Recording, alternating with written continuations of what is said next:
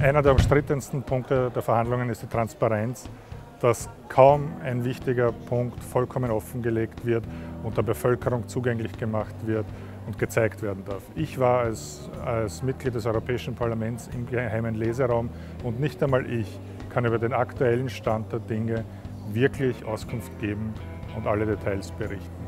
Das ist ein Skandal für sich in einer demokratischen Gesellschaft und kann so nicht hingenommen werden. Wir fordern volle Transparenz bei den Verhandlungen.